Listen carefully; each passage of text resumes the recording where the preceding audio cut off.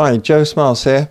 Does saturated fat cause heart disease? Well, sort of, indirectly. This is confirmed in this 2018 study placing saturated fat to reduce cardiovascular risk. Um, higher saturated fat consumption, especially long chain saturated fats found in palm oil, coconut oil, butter, sunflower oil, cheese, uh, these cause an increase in total cholesterol and an increase in low density lipoprotein cholesterol, which is your bad cholesterol, and it increases higher triglycerides, which are fat cells circulating in your blood.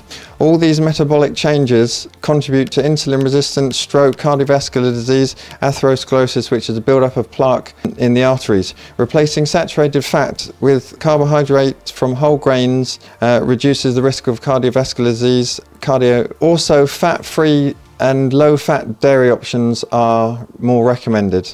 And finally, replacing full fat or saturated fat with mono and finally replacing full fat or saturated fat with mono and polyunsaturated fat helps to reduce total cholesterol and reduce low density lipoprotein cholesterol again which is your low uh, which is your bad cholesterol